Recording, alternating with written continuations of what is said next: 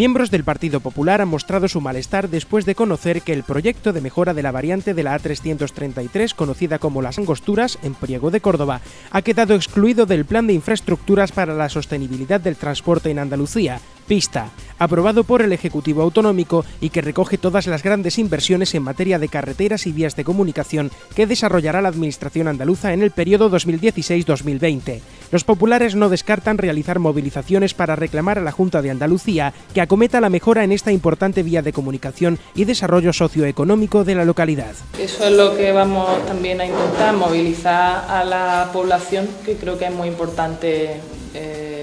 que se sienta que es una necesidad importante, sobre todo para el sector industrial.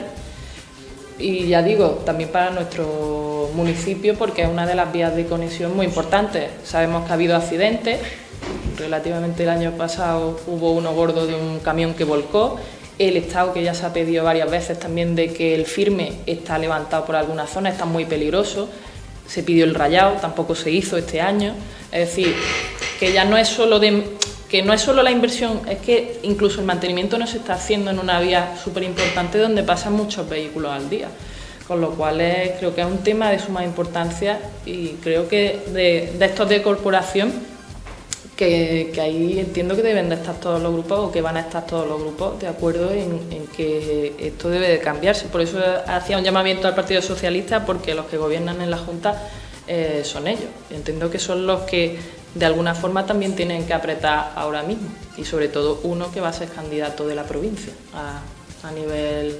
eh, general. El Partido Popular llevó una moción al Parlamento eh, sobre precisamente infraestructura en Andalucía. Y exactamente el punto, el punto 10 de esa moción del Partido Popular lo que pedía es que el Parlamento instase al Consejo de Gobierno a considerar como prioritarias para la provincia de Córdoba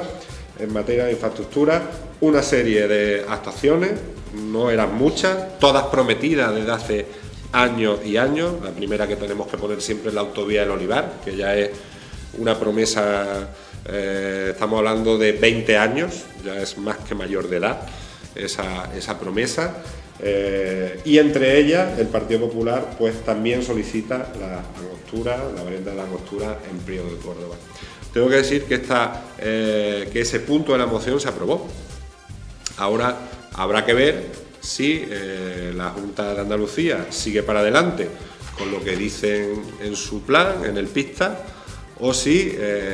da cumplimiento a lo que ha mandatado el Parlamento, que es que estas actuaciones se consideren eh, de manera prioritaria.